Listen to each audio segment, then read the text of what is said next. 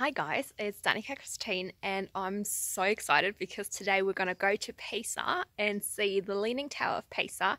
It's one of the great sights in the world that I haven't seen yet.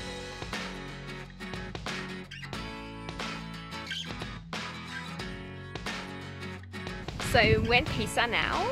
I've already seen the tower from the car. Unfortunately, I was way too slow to film it for you guys, but you're gonna see it in minute anyways. Alright, so this is the Leaning Tower of Pisa. I actually had no bloody idea how leaning that thing actually is. Like, the angle is that it's just absolutely unbelievable.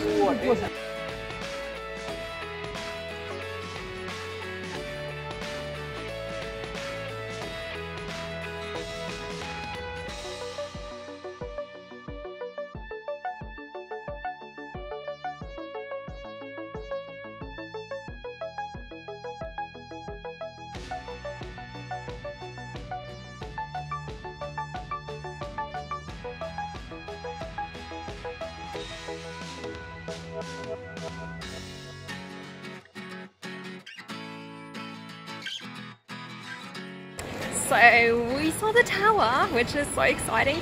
Um, one thing I learned today that I didn't know is that it's actually the church tower or the bell tower of the cathedral here.